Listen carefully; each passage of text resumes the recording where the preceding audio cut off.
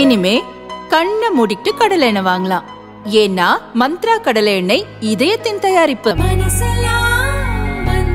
அறுபத்தி இரண்டு வருட பாரம்பரியமிக்க India's most trusted jeweller Srikumaran Thanga Maligai. தலைச்சிறந்த திருமண நகைகளை நூறு சதவீத மனநிறைவுடன் வாங்க ஒரு சாய்ஸ்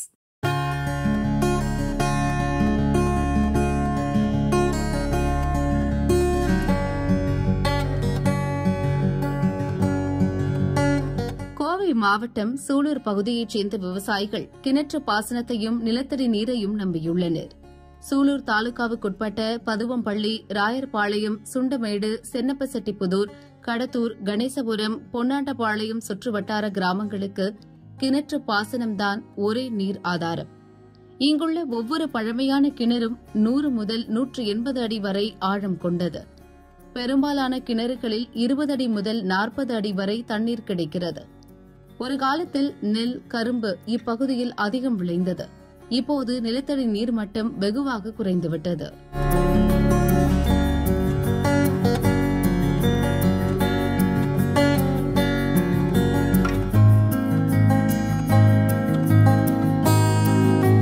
நிலத்தடி நீரின் உப்புத்தன்மை அதிகமாகி பயிர் விளைச்சல் குறைந்து வருகிறது.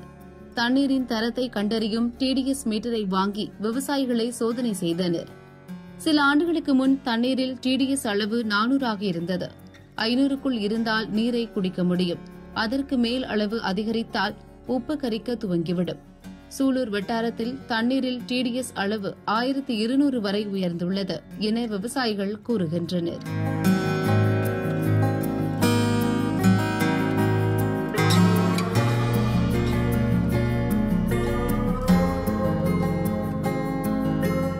இதில் வந்து அதான் நாங்கள் எல்லா விவசாயம் வாழை கரும்பு நெல் எது போட்டாலுமே எங்களுக்கு அது பூரா வெள்ளையாக தான் வருதுங்க. பச்சையாக வர்றதில்ல. அதுக்கு வந்து திருப்ப நாங்கள் வந்து ரசாயன உரத்தை பயன்படுத்தினா இன்னும் அதிகமான மண்ணு கெடுதலாகுது. வ- வருஷா வருஷம் க- மகசூல் கம்மியாகிட்டே வருது. நாங்கள் வேளாண்மையை விட்டுலாமல் அந்த மாதிரி ஒரு கண்டிஷன் ஆயிடுது மோசமான தண்ணீரை குடிப்பதால் கால்நடைகள் பலவிதமான பாதிப்புக்கு உள்ளாகின்றன. மாடுகளுக்கு கால்களில் வீக்கம் ஏற்படுகிறது. பரிசோதித்த கால்நடை டாக்டர்கள் தண்ணீரை மாற்றுவதுதான் தீர்வு என்கின்றனர். ஒரு இருபத்தஞ்சு வருஷமா மாட்டு பண்ண வச்சிருக்கிறேன். முதல்ல இப்போ இருக்கிற மாட்டு பண்ணை வந்து மாட்டு பண்ணை தொழிலே விட்டுலாம்னு அந்த நிலைமைக்கு போயிட்டுங்க. எதனால தண்ணி பிரச்சனை வந்து ரொம்ப இன்க்ரீஸ் ஆகி வர்றதுனால ரொம்ப மாட்டுக்கு உண்டான கால்நடை கா நோய் எதிர்ப்பு சக்தி எல்லாமே குறைஞ்சிட்டே வருது. நம்மளுக்கு என்னென்ன மனுஷனுக்கு என்னென்ன இது வருதோ அத்தனையும் மாட்டுக்கு வருது. காய்ச்சல் கால் வலி முட்டி வலி எல்லாமே வருது. அதுக்கு இது தண்ணி தான் பிரச்சனை. தண்ணி தான் பிரச்சனை. கால்நடை உதவியாளரே சொல்லிட்டாரு. இதுக்கு வந்து தண்ணி தான் பிரச்சனை. நீங்க தண்ணி தான் மாற்றணும் தண்ணி இந்த தண்ணி விட்டீங்கன்னா நீங்க இருக்க இருக்க கீழே தான் போக முடியும். மேலே எந்திரிக்க முடியாது. விவசாயிகள் பெயரளவுக்கு ஆடு மாடுகளை வளர்க்கின்றனர். தீவன பயிர் வளர்க்க தண்ணீர் பாய்ச்சியும் தீவனம் விளையவே இல்லை. காரணம் தண்ணீரில் டிடிஎஸ் அளவு அதிகரித்திருப்பதுதான். அதே பகுதியில் மழை பெய்தபோது விதைக்கப்பட்ட பயிர்கள் நன்கு விளைச்சல் கண்டன. பிராய்லர் கோழி வளர்ப்புக்கு கூட இந்த தண்ணீர் உபயோகமற்றதாக மாறியுள்ளது. கோழியின் எடை குறைவதால் சொற்ப விலைக்கு அவை விலை போகின்றன. கோழி வளர்க்க லிட்டருக்கு ஏழு பைசா வீதம் காசு கொடுத்து தண்ணீர் வாங்கப்படுகிறது. பட்டுப்புழு வளர்ப்பதற்கும் இங்குள்ள தண்ணீர் ஏற்றதாக இல்லை. ராயரபாளையத்தில் பட்டுப்புழு வளர்ப்புக்கு கட்டப்பட்ட கட்டடம் வீணாகியுள்ளது. தென்னை மரங்களை சுற்றி உப்பு படைந்து காணப்படுகிறது. இதனால் ஒவ்வொரு ஆண்டும் காய்களின் எண்ணிக்கை குறைகிறது. தேங்காயின் எடையும் இருபது கிராம் எடை குறைந்துவிட்டது என்கின்றனர் விவசாயிகள்.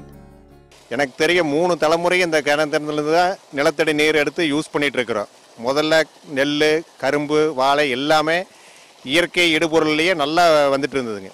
இப்போ வர வர வர இந்த பத்து பதினைந்து வருடங்களாக எதுவுமே இடுபொருள்கள் வந்து அதிகமாக தேவைப்படுகிறது மருந்து உரங்கள் எல்லாமே.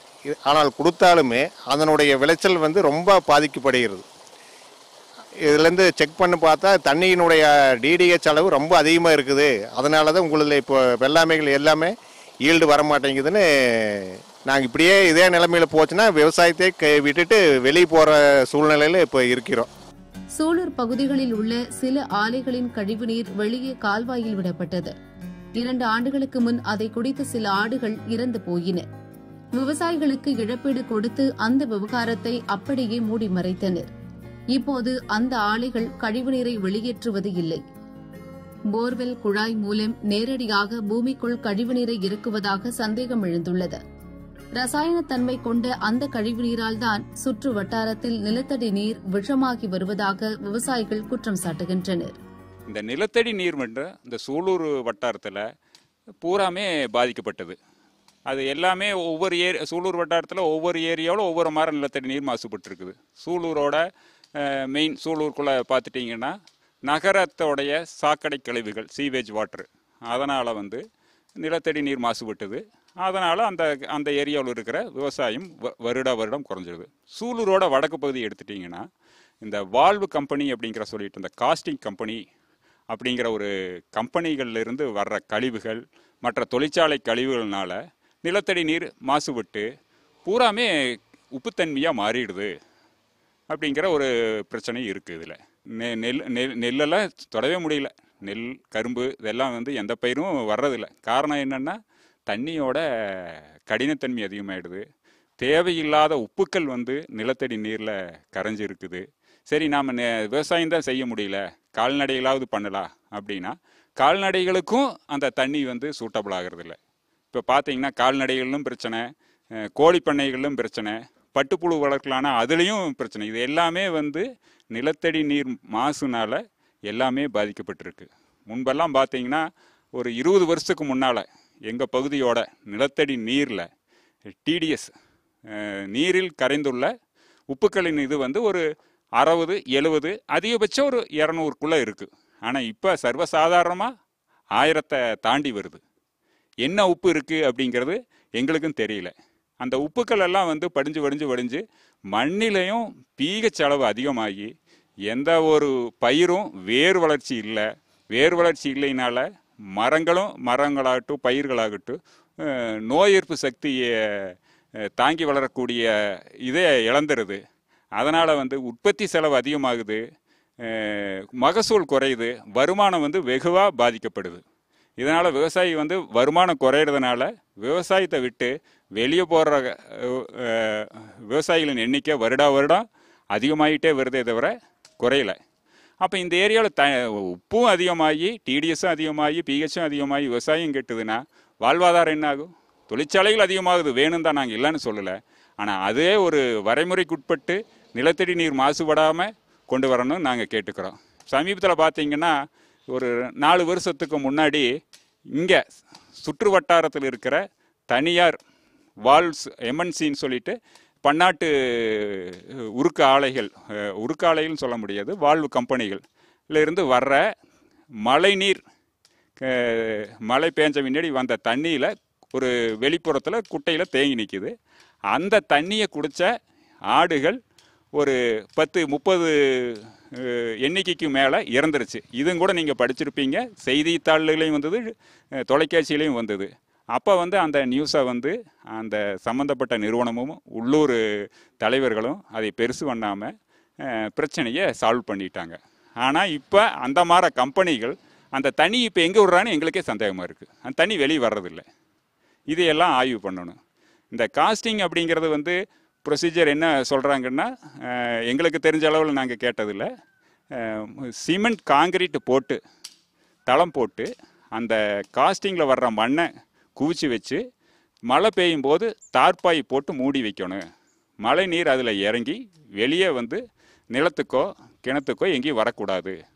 பாதுகாப்பாக அப்புறப்படுத்தணும் அப்படின்னு சொல்கிறாங்க ஆனால் எந்த நிறுவனமும் அது மாதிரி பண்ணுறாங்களான்னு தெரியல. அவங்க என்ன பண்ணுறாங்க இரவு நேரத்தில் சில தனியார்களுக்கு காசு கொடுத்து எடுத்துகிட்டு போக சொல்கிறாங்க அவங்க என்ன பண்ணுறாங்க வழியில் இருக்கிற குட்டைகள்லேயும் நிலங்களிலையும் யாருக்கும் தெரியாமல் கொண்டு வந்து கொட்டி வச்சிடுறாங்க.